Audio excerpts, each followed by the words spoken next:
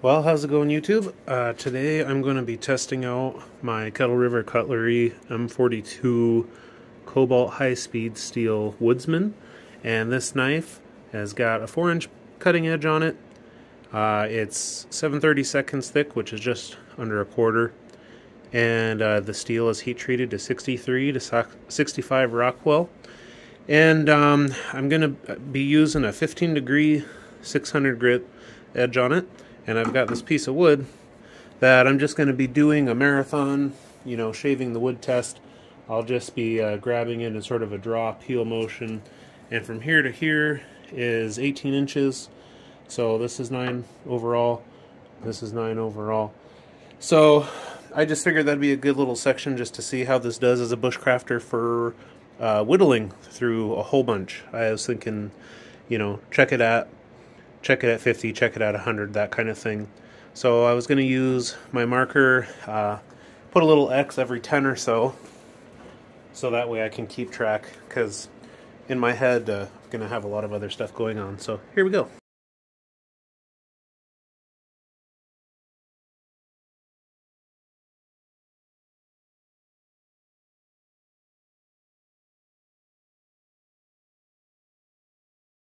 Uh, well, that's um, not going to work because the knife keeps digging out these massive chunks of the board. Um, it's just not a very good piece of wood for doing very long draw cuts, so I'll probably have to resort to a more measurable whittling stroke, I guess. Um, guess we'll see how it does if I whittle through the 2x4.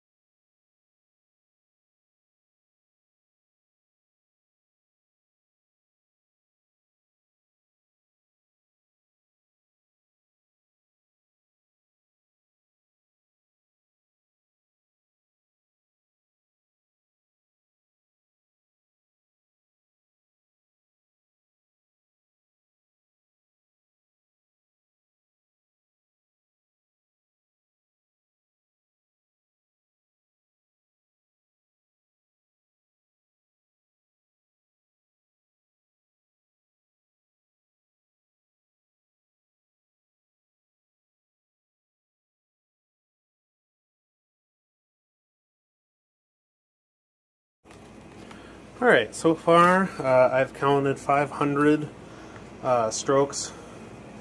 It's not nearly as scientific as I wanted as far as accurate length of stroke to, you know, compare it to other knives, but anyway, still, still cutting just fine. You know, still shaving, still shaving just fine. Um, yeah, my idea for for a coating with the Brownells Alumahide isn't working very well. Uh, just right above the edge is chipping away, but it looks like, oh, maybe I polished this knife before I painted it. It it could be that it's a Scotch-Brite finish and it's not an actual like 120, so I'll have to retest that on a knife that I know for sure I didn't go too fine on.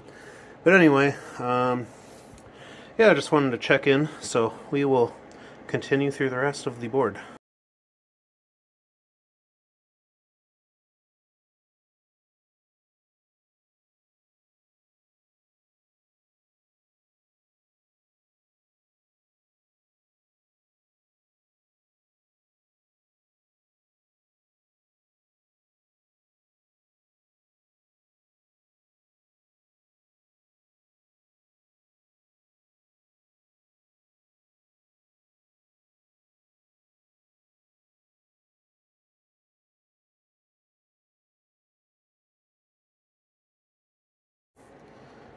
Alright, I'm getting a little tired now. Uh, added another 300 strokes to the original number where I'm at so far.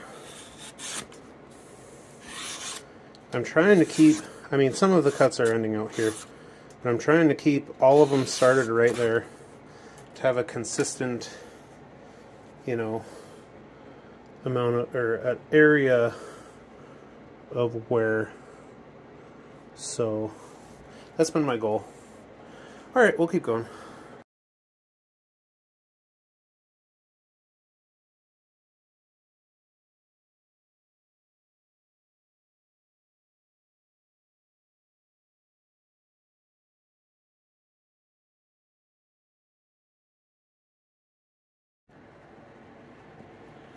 So there we have about a thousand. It was a 950 when I counted them up, but of individual little cuts. And again, it's not as consistent as say a piece of rope where you know exactly how thick it is, but just to get an idea of what it would do, I just had, I wanted to do something and this is all I had handy. But, you know, the knife is still actually quite usably sharp. Um, it will still you know, bite into the slippery the slippery portion of this paper on the side. And usually that means it shaves. Haven't tested it. Yep. Very easily still shaves. Uh, no stropping or anything. Why do I think M42 would be a good steel for a bushcrafter edge retention wise? Well, they use it in the high-end lathe gouges that cost hundreds of dollars and they last for a long time. So this was just a short demo. Uh, so thanks for watching. I hope you found it useful.